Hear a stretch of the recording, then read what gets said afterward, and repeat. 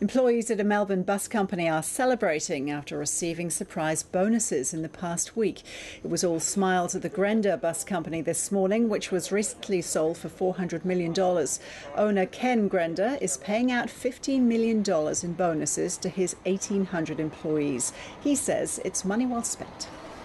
Bus drivers, as these guys will testify, aren't the highest paid people in town, but they're totally dedicated. They've worked very hard. We've had people here for 40 and even 50 years working for us. That's all of their working life.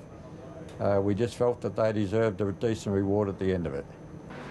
1,300 bonuses of up to $100,000 have already been paid, and 500 employees who work for subsidiary Volgren will get their bonuses this week.